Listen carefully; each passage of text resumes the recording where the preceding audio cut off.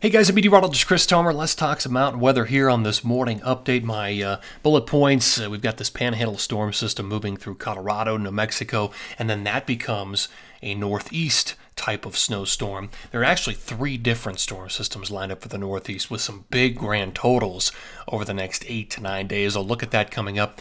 Now, out west, after this panhandle storm, the pattern's going to shift um, dramatically, and the jet's going to move up to the north and become more of a northwest flow orientation. Um, so that's going to favor some new places for um, snow. I want to show you what it looks like. It's snowing in Colorado. There's the uh, the view of Aspen Snowmass this morning. That's Aspen Highlands.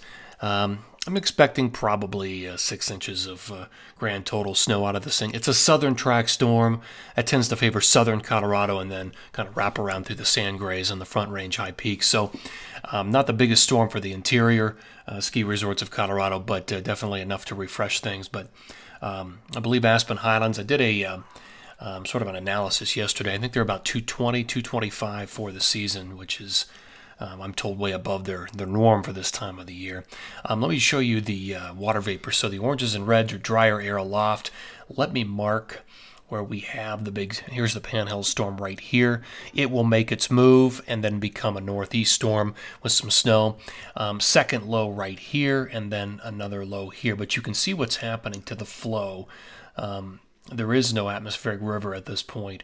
What we're dealing with is a totally different flow, and there's some ridging happening, bending of the jet, and then, of course, you've got your panhandle storm. But there's also some southern contribution coming in as well. But this, there's an area of high pressure that will start to build, and this is going to go into this direction and become a high pressure ridge off the west and northwest, Pacific Northwest coast.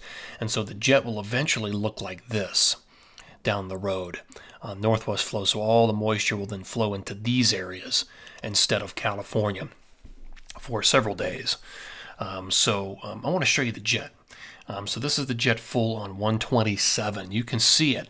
You can see the area of high pressure sitting over California off the west coast. Everything's sort of bending up to the north with that amplified jet. Now there's going to be a, a little period of drier air for the west because of this before the pattern reestablishes itself and they, you get some new um, lower atmospheric pressure readings by the end of the month into February. February looks to be active for the West, I think will establish more of a storm track coming out of the Pacific Northwest, Montana, Idaho, Wyoming, Colorado, Utah during that time frame. But right here, this represents um, some higher pressures, so we could be looking at a slightly drier period right there. All right, let's look at the, um, let's go back here. I want to show you the future or the forecast radar and satellite. So this is Thursday morning at 6. Here comes another ripple of low pressure diving down the jet during the transition period. Um, here's Saturday morning at 6. You can see another little ripple. This one's diving definitely more of a northwest flow um, into Monday morning there. There's Monday uh, late. And everything's at this point is up in the northern tier uh, with that new pattern. Look how dry California is, Nevada, southern Utah, Arizona.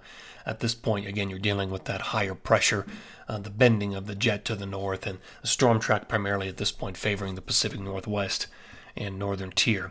All right, let's go into some of the, uh, the forecast numbers here. So this is all of today through the 20th. Um, so you've got the Panhandle storm dropping another potentially three to six inches in Colorado and northern New Mexico, and then it's out of here. Um, in California, you've got probably one more ripple of low pressure to come through, another five to nine. Um, some light amounts through Wyoming and Utah, and probably 6 to 12 up there in the Pacific Northwest. So, again, that's period one.